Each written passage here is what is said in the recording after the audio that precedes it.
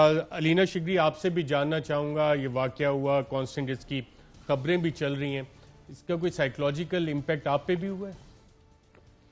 Naturally Arshad I second Ayesha इस वाक़े ने एक खौफ हरास तो बिल्कुल फैलाया है। Uh, मैं दस दफ़ा बाहर निकलने से पहले सोच रही होती हूँ। बहुत चैलेंजेस होते हैं और मेरी तरह से मेरी तरह की बहुत खातन ऐसी हैं।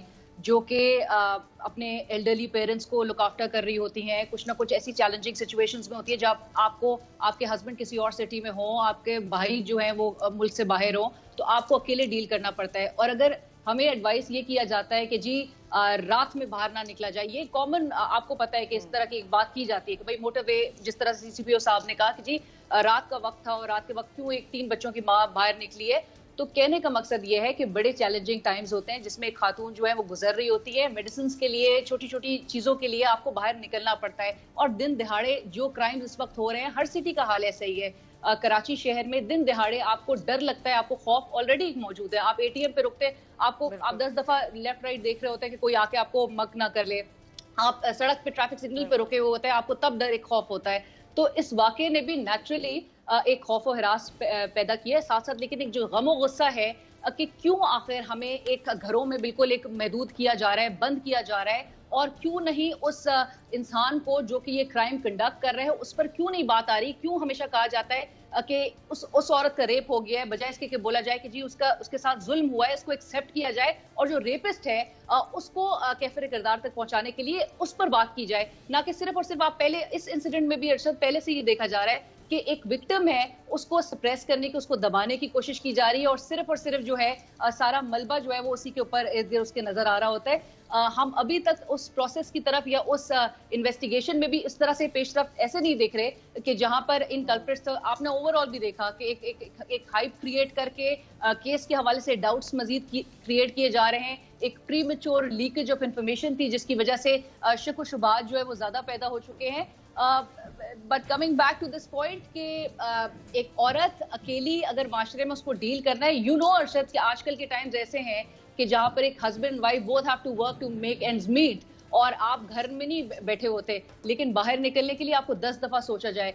मैं अनफॉर्चुनेटली ये बात मैं भी दोहराना चाहूँगी कि पाकिस्तान से आप बाहर अगर इवन पंद्रह दिन की वेकेशन पे भी जाते हैं आप बड़ा सेफ़ फील करते हैं। ऑनेस्टली कोई आपको पीछे मुड़ मुड़ के नहीं देख रहा होता आ, कोई आपको आपको फॉलो नहीं कर रहा होता कोई आपको स्टॉक नहीं कर रहा होता। आपको दो बजे रात को भी बाहर निकलने में कोई डर खौफ नहीं होता जितना अपने मुल्क में रह के आपको दिल में भी एक इंसान बुरके में होता है।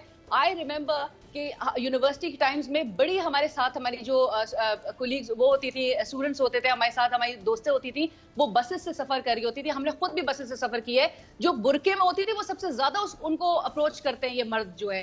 तो अगर जो जो, जो चीफ मिनिस्टर पंजाब है बुजदार साहब अगर वो वाकई में इंटेंसिटी कि एक औरत इस माशरे में कैसा फील करती है किस कर्ब से गुजरती है एक दिन जरा बुरका पहन के मेरे ख्याल से सोसाइटी में बाहर निकले उनको पता चल जाएगा कि औरत के साथ हो क्या रहा है इस माशरे में किस निगाह से उसको देखा जाता है। और सिर्फ़ और सिर्फ़ हमें यह समझाया जाता है कि इस्लाम ने औरत को घर में रहने के लिए कहा है घर गृहस्थी संभालने के लिए कहा है खातून को पर्दा और हमें तमाम ये नसीहतें की जाती है तो इस्लाम ने मर्दों को क्या क्या हिदायत दी है? मर्दों को क्या अपनी नज़र अपनी निगाह नीचे करने की हिदायत नहीं दी है? मर्द को क्या हर चीज़ की लिबर्टी दी गई है कि वो हर चीज़ कमिट करे हर क्राइम कमिट करे औरत से और उसके बाद भी खमियाजा एक औरत भुगतती है? कि ये जो प्रोसिक्यूशन के अमल में और जो ओवरऑल हम देखते हैं अदालतों के धक्के खा खा के जो गिव अप कर देते हैं या आउट ऑफ़ कोर्ट सेटलमेंट करने पे मजबूर होते हैं प्रेशराइज होते हैं, मैं एक ज़रूर एक हवाला देना चाहूँगी। यहाँ पे दो इंसिडेंट्स ऐसे मेरी फैमिली में हुए हैं जहाँ पर पाँच बजे सुबह डकैत, बहुत सारे डाकुओं का गैंग वो घर में घुसता है। बच्ची को कमरे से निकालता है उसके उसके चादर हटा के कमरे से बाहर निकालता है ड्रैग करते हुए बाहर लेके जाता है गाड़ी में बिठाने की कोशिश करता है। ये मैं इंसिडेंट ये लास्ट ईयर का वाक्य है जो कि कराची शहर में हुआ है।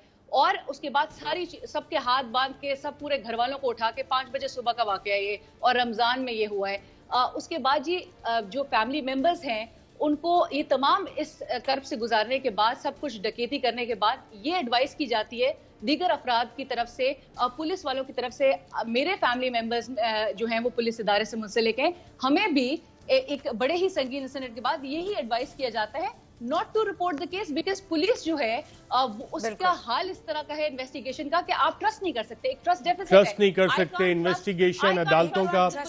आपने ये सारे इश्यूज़ आयशा और अलीना आपने उठाए और इसी हवाले से बात करते हैं।